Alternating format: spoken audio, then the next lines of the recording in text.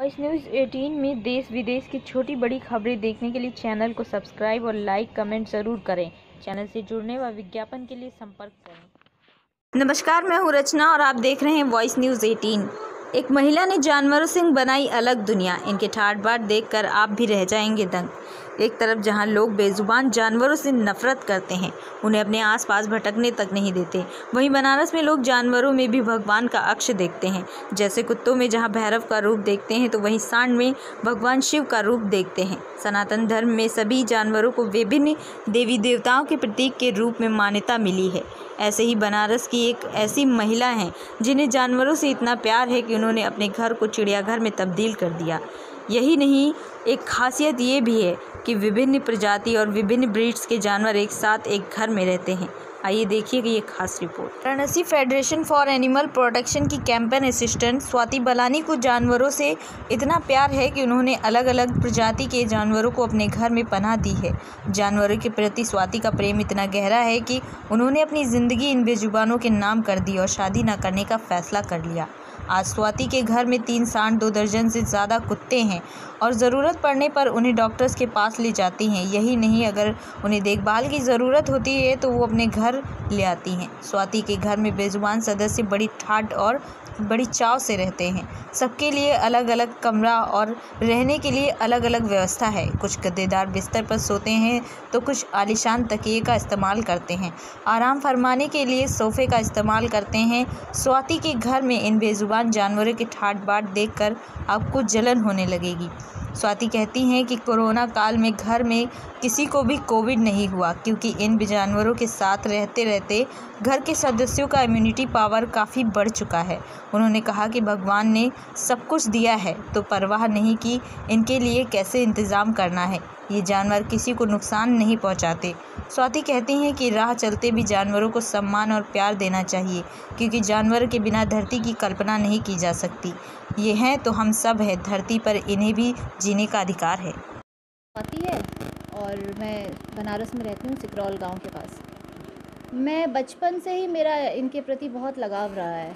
और बचपन से मेरे पास डॉग्स और कैट्स तो रही है। कभी भी ऐसा मुझे कोई जानवर घायल अवस्था में दिखता था तो मुझे लगता था कि इसको घर ले जाऊँ और इसका इलाज कराऊँ। करती भी थी जब मैं छोटी थी, जित, वो जितनी कुबत एक छोटे बच्चे में होती है, उतनी करती थी।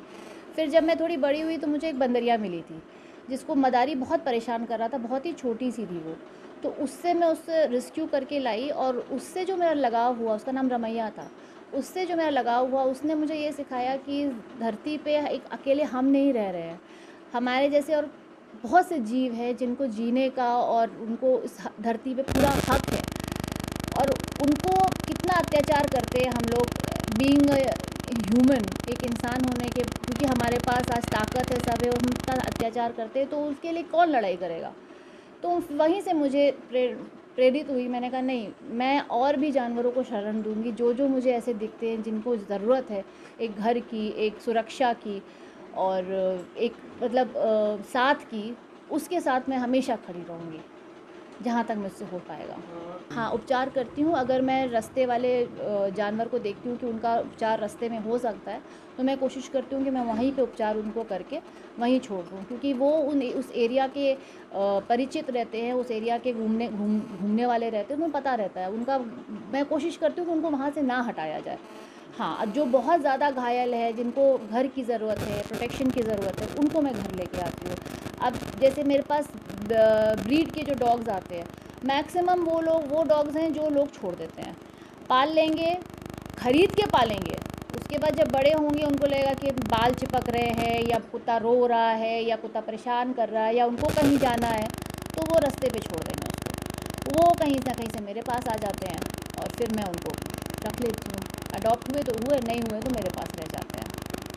मेरे पास चील है और कबूतर है और उल्लू भी आया था, लेकिन नहीं है मेरे पास अभी वो।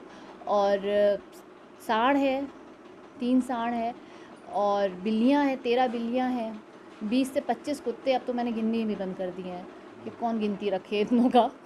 और बाकी बाहर भी बहुत सारे जो गली के मोहल्ले के कुत्ते हैं, वो भी सब यहीं आके अपना डेरा डाले रहते हैं। बस।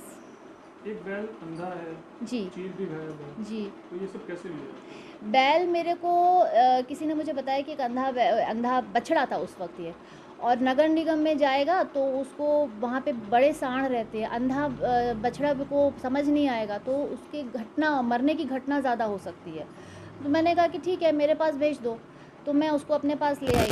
अब अंधा है तो उसको बाहर भी नहीं छोड़ सकते हैं। तो वो मेरे पास ही है अब। मेरे पास ही रहता है। चील मांझे से उसका पूरा पंख जो यहाँ से कट गया था। और उस वक्त हमको मालूम नहीं था कि डॉक्टर इसका इलाज कर सकते हैं। फिर हमारे एक डॉक्टर हैं हमारे बहुत अच्छे डॉक्टर डॉक्टर विनोद। उनसे हमने पूछा तो उन्होंने कहा हम ऑपरेशन करवा दें कर देंगे। उनका एक बार ऑपरेशन भी हुआ। लेकिन बाई चांस ऐसा था कि हड्डी ठीक से जुड़ी नहीं उसकी।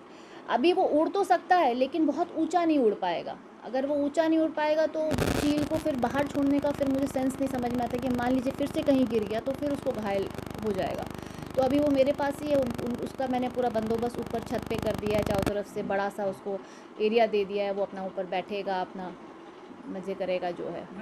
नहीं, हमला तो कभी नहीं किया है। देखिए, हमको, मुझे किसी बहुत अच्छे डॉक्टर ने, दिल्ली के डॉक्टर ने बताया था कि आप एक जानवर को देख के पहचान सकते हैं कि उसे परवरिश कैसी मिली है। अगर आपने एक जानवर को बहुत प्यार से पाला है और आपने उनको, उसको प्यार दिया है तो वो कभी आप पर हमला नहीं करेगा या किसी पे भी हमला नहीं करेगा जब तक कि उसके मालिक पर कोई ऐसा खतरा ना आए। तो मेरे कोई भी जानवर किसी पे ऐसे हमला नहीं करते हैं। हाँ। इन्फेक्शन तो मुझे नहीं लगता है सर। देखिए मैं मैं अपना बता रही हूँ बचपन दो डेढ़ साल दो साल से थी मैं जब मैंने बच्चों को कुत्तों को देखा और मैं जब डेढ़ साल की थी पापा मम्मी कहते हैं कि मैं भागते हुए कुत्ते के पेट पे जाके सो जाती थी।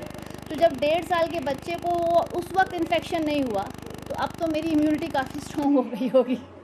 नहीं होता ऐसे मुझे करोना नहीं हुआ मेरे घर में किसी को करोना नहीं हुआ मेरे बगल में करोना सामने करोना बाजू में करोना सबको हो गया लेकिन भगवान की दया से यहाँ करोना नहीं आया। मैम खर्च भी तो इनके ऊपर बहुत आते होंगे कैसे मेंटेन होता है? देखिए सर मैं जहाँ तक मैंने पहले भी बहुत लोगों को बताया था कि जिसने दिया है ऊपर वाले ने अगर इन्हों इनको मेरे पास भेजा है तो वो कोई रास्ता निकाल के बना देता है मेरे लिए। कुछ अपनी सेविंग होती है मेरी कुछ पापा मम्मी की सेविंग है तो कर लेते हैं। वैसे मैं प्रोफेशन से ट्रेनर हूँ तो जब भी ऐसा कोई कॉपरेट ऑफ़िस में कोई कॉल आता है कि भाई ट्रेनिंग देनी है या इंस्टीट्यूट से कॉल आता है तो मैं वहाँ ट्रेनिंग देती हूँ और जो भी सैलरी होती है वो सब इन पे खर्चा हो जाता है। आपके खुद का परिवार कितना बड़ा है? मेरे पापा मम्मी हैं मैं हूँ यहाँ। बाकी मेरी बहन बाहर रहती है देश से बाहर। बस इतना ही उसकी शादी हो चुकी है वहीं सेटल्ड है। उसका आना बहुत नहीं मैं इनको कौन कहाँ छोड़ के जाऊँगी? किसके भरोसे छोड़ के जाऊँगी? तो आपका जीवन इनके लिए बस। मैं लोगों को ये समझाना चाहूँगी कि देखिए ये हैं तो हम हैं। आज धरती पे अगर ये ख़त्म हो गए तो हमारा अस्तित्व भी बहुत जल्दी ख़त्म हो जाएगा। कहते हैं मैंने एक बहुत जगह पढ़ा था कि जब हमको बुखार होता है तो हमारी बॉडी गर्म होती है। धरती गर्म हो रही है।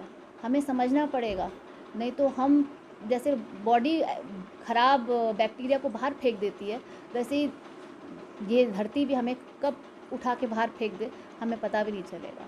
इसलिए उस चीज़ को समझना पड़ेगा और हमें इनकी रिस्पेक्ट करनी पड़ेगी। मैं देखती हूँ बहुत लोग उसको मारते हैं, बहुत बुरी तरह से बिहेव करते चलते चलते ईटा मार देंगे, लात मार देंगे। क्यों करते हैं? वो क्या बिगाड़ रहा है आपका? बैठा ही ना है। आपके साथ एक छोटी सी धरती को ही तो शेयर कर रहा है। आपका क्या लेके जा रहा है?